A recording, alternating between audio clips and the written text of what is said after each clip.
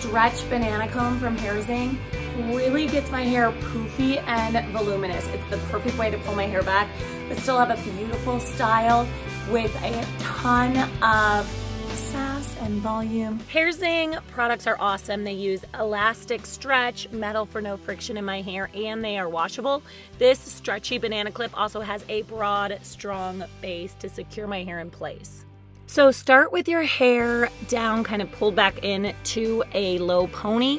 Secure the metal teeth above your ear and push your hair back, securing it into place. Bring it around down under the base and push it in the other side as well.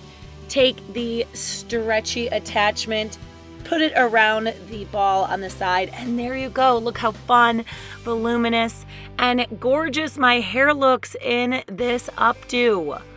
I love it. HairZing products are awesome. You guys check all of them out. You're gonna love them too.